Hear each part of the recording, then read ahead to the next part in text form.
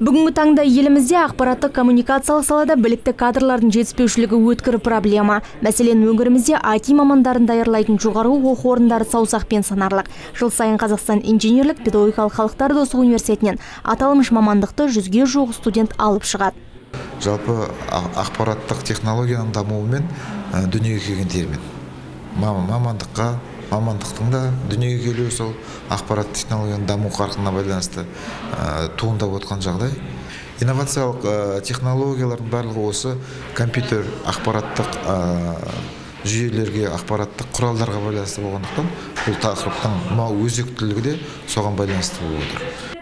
Пленарлық мәжілісте елдің әр аймағынан келген студенттердің онға жуығының баяндамасы тыңдалынды экономика мамандығының бірінші курс студенті лаура қасымова IT технологиялардың қолданыс аясын кеңейту тақырыбында ғылыми жоба әзірлеген Почему именно IT технология біздің түсінігімізде тек қана компьютер мен ақпарат саласында ғана қолданылады.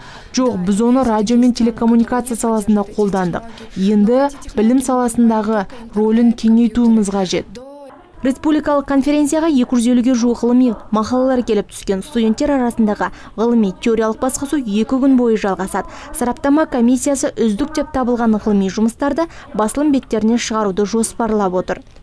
Иә, қазір қоғамға бұл мамандықтар өте керек. Сондықтан бұларды сапалы дайындауымыз керек. Қазір кезде біз соған әрекет жасаймыз.